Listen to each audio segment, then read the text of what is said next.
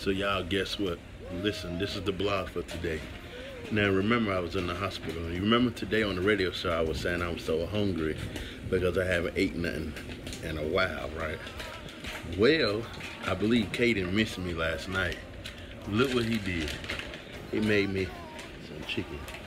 And some pork chop. And some and he said and some pork chop. Fried. Fried. Y'all, he must have missed me last night. Or he thought I wasn't coming home last night. He thought I wasn't coming back no more. I think he got scared. Y'all, check it out.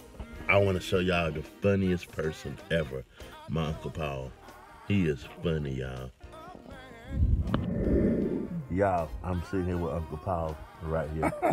Everybody say hey to him. No way. Yo, check it out. This is Prince right here from the radio show. Listen, I'm back. I'm on it. I got up and coming and training security right here.